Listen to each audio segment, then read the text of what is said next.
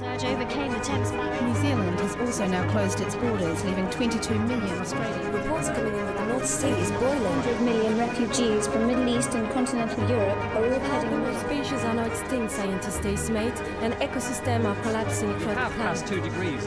We cannot now stop runaway climate change. There are simply too many people to feed on Ireland's remaining farmland.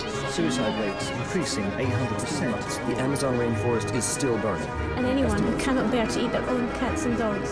Entering the eighth world food crisis with. World temperatures today passing 4 degrees. Pakistan has launched retaliatory nuclear strike on the Delhi. War, sweeping down ferocity across the entire continent.